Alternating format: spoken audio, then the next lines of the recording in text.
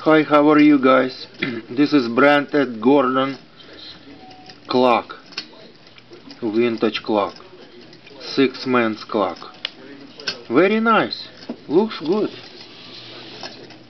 People working.